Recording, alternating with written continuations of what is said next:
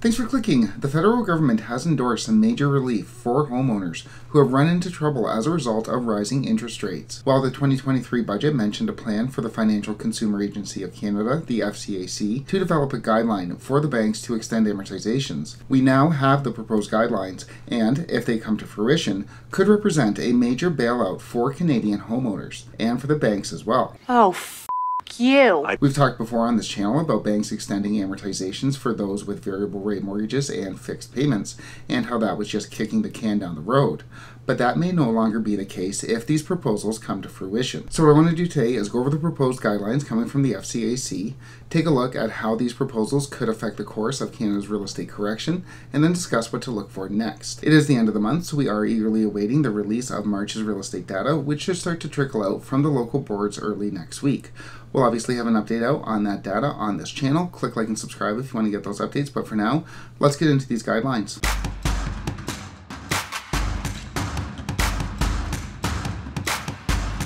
Onto the guidelines. First off, just a brief background.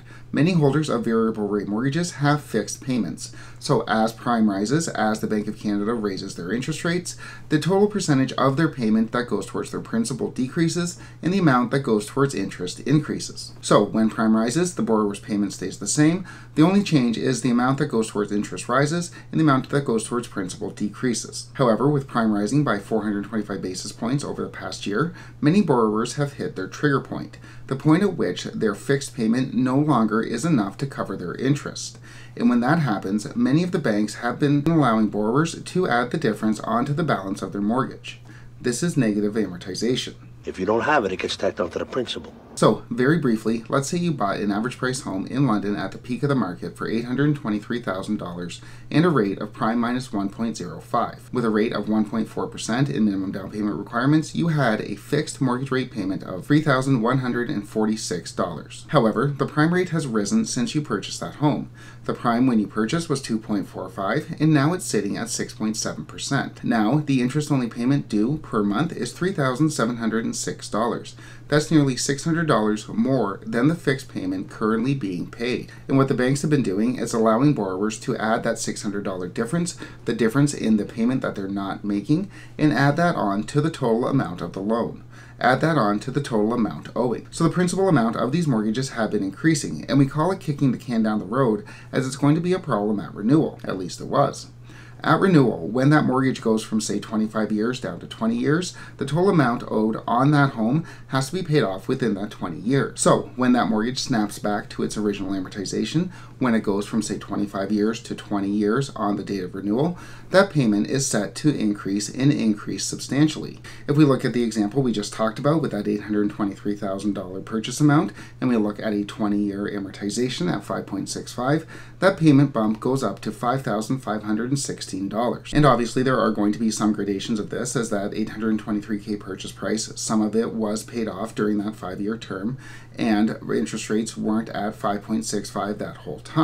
However, you get the idea more and more is tacked onto the principal, and then when that amortization snaps back to its original amortization, goes from 25 years to 20 years, the payment is set to increase and increase by a lot. Until now, at least, as the FCAC has developed a guideline on existing consumer mortgage loans in exceptional circumstances. And by exceptional circumstances, the FCAC means those households that have high household debt, have seen rapid interest rate hikes, and have a higher cost of living. High household debt, high inflation, and high interest rates to deal with that high inflation. Right now, under existing rules, there is no method for homeowners to extend their amortization beyond refinancing their home. However, under the proposed guidelines, lenders would have to consider whether or not the borrower would have the ability to return to the original amortization at the end of their term. And if the bank deems that borrowers would have a problem making their payments if their amortization snaps back to that original, say, 20 years, if it deems that borrowers would not be able to make those payments, then it can consider permanently increasing their amortization period. However, it's not clear for how long the FCAC is saying that the banks can re amortize these mortgages. Currently, under existing standards, the maximum amortization, at least for A lenders, is 30 years. However, when the Globe and Mail contacted the FCAC to see how long of amortization periods were being considered, the FCAC did not comment. Whatever you think is best. So, under the proposed guidelines, those with variable rate mortgages and fixed payments may be allowed to permanently extend their amortizations without having to refinance, without having to requalify. However, it's not just those borrowers that are being considered.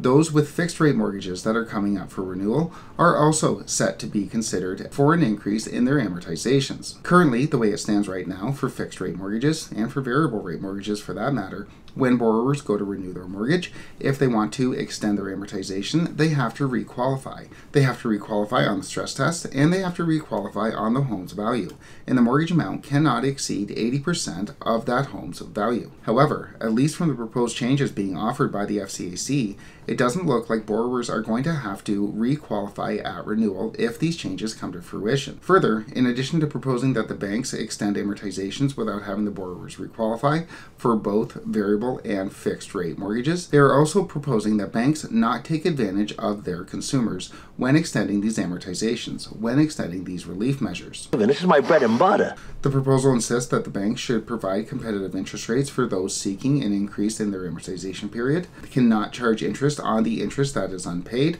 I'm sure the banks will love that. And ensure that credit scores are not affected by those who seek relief measures. So, in summary, under these guidelines, the banks would have to offer permanent amortization increases for distressed borrowers, for borrowers facing exceptional circumstances, high household debt, inflation, and higher interest rates, and this would be for variable and fixed rate mortgage holders. The banks would not be able to charge a premium for these relief measures, and credit scores are not to be impacted. It's election year. Now, granted, these are just proposed measures, and consultations will be open until May 5th. However, these measures could very well serve to re-prop up the housing market. I knew you'd come.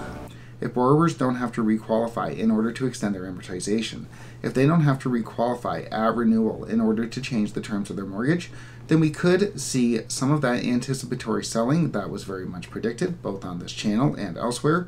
We could see a lot of that anticipatory selling not come to fruition. We could see a lot of those homes, a lot of those homeowners that were going to eventually see this payment stress not have to sell their home. If they can simply extend their amortization, maybe to 30 years, who knows how long the FCAC hasn't said and would not comment, if they can just continue to extend their amortization, then that payment stress very well might not come to fruition, might not come to bear, and therefore we wouldn't see a whole lot of anticipatory selling. Now, the extent to which all of these proposals will make it into the guidelines is not yet clear.